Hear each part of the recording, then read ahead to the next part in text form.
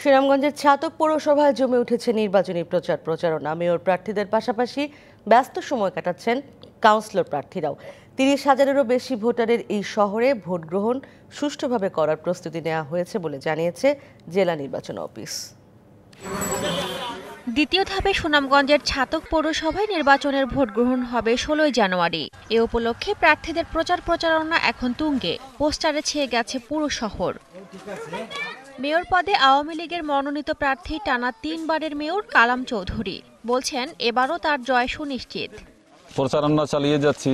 বিপুল সারা পাচ্ছি। আমি আশা করি আগামী ষোলোই জানুয়ারির নির্বাচনে ছাতক পৌরসভার জনগণ সঠিক সিদ্ধান্তই নৌকা প্রতীকের পক্ষ দেবে বলে আমি আশা করি। বিএনপি প্রার্থী রাশিদা আহমদ ন্যান্সি বলছেন এবার মানুষ পরিবর্তন চায়। জয়ের ব্যাপারে আশাবাদ তার। জনগণ যদি সুষ্ঠু নির্বাচন হয় এবং নিরপেক্ষভাবে ভোট প্রয়োগ করতে পারে এবং সুযোগ সুবিধা পায় তাহলে অবশ্যই অবশ্যই দানের শীষ প্রতীক বিজয়ী হবে। প্রচারে ব্যস্ত কাউন্সিলর প্রার্থীরাও। নয়টি ওয়ার্ডে লড়ছেন তেত্রিশ জন। পাশাপাশি লড়ছেন চোদ্দ জন সংরক্ষিত নারী কাউন্সিলর প্রার্থী।